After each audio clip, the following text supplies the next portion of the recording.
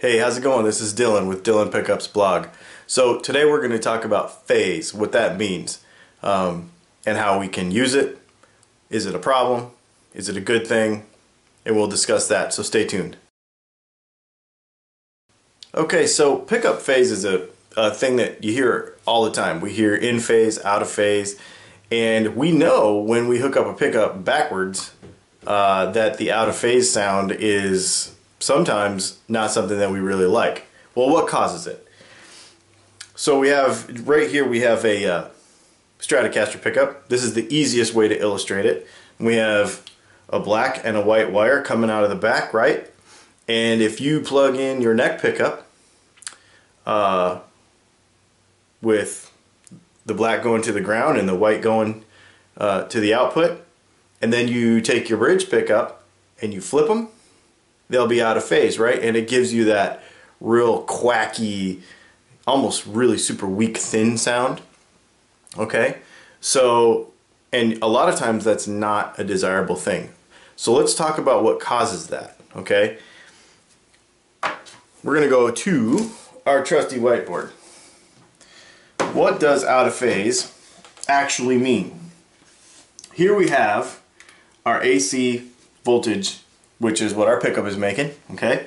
And it this is our sine wave. Now we're gonna say for, it doesn't really look like this in the guitar, it kind of looks all squiggly and especially if you have an overdrive pedal and all that kind of stuff, it doesn't look like a perfect sine wave, but just for purposes of illustration. So here it is, it goes up and then it goes down, okay? So this is, well, we'll call this our neck pickup. And then we'll take a bridge pickup over here and we will go the other way and say it's out of phase, right?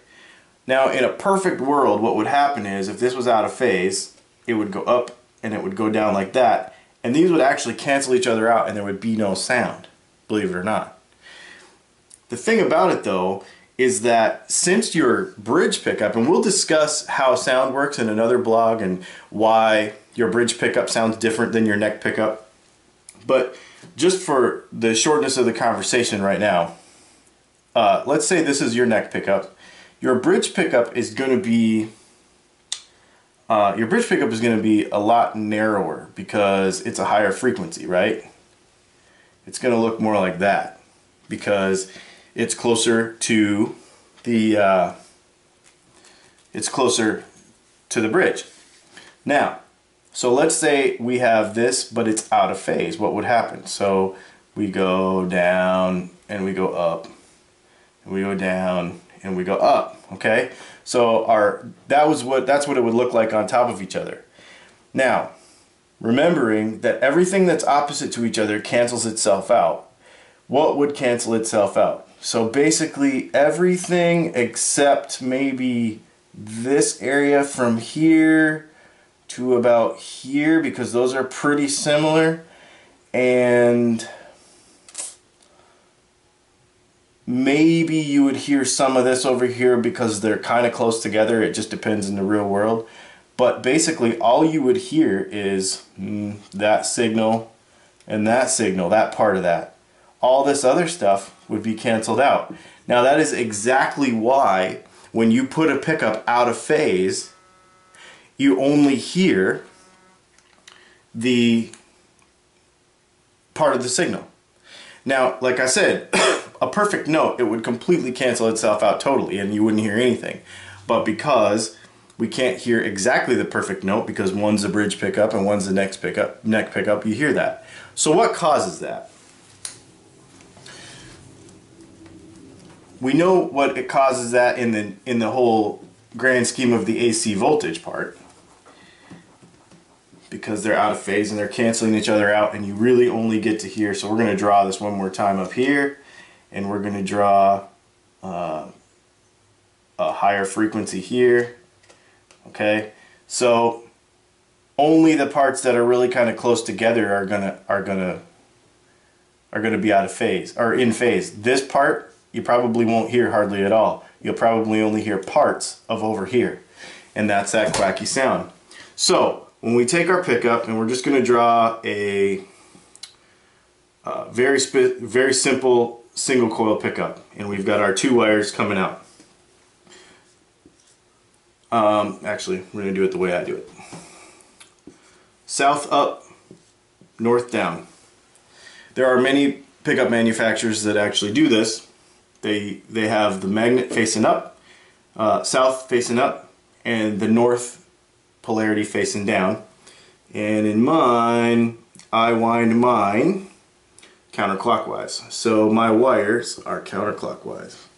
So that Stratocaster pickup you just saw was south magnet facing up, north magnet facing down, and counterclockwise wound. So the wire goes around it counterclockwise. If the next pickup that you hook up to your guitar is not the same polarity and with the magnet facing the correct direction and the wind exactly the same, your pickup will be out of phase causing this, okay? So, what does that mean? That means that you have to make sure that you wire it right when you put it in. Now here's the key to that.